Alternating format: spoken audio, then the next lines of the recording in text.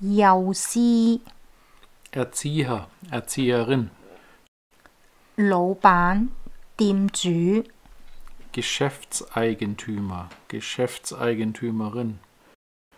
电工、 Elektriker, Elektrikerin, 老细、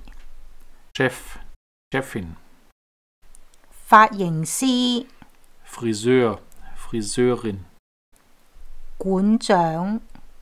Kurator, Kuratorin, 警察、 Polizist, Polizistin, 邮差、 Briefträger, Briefträgerin, 裁缝、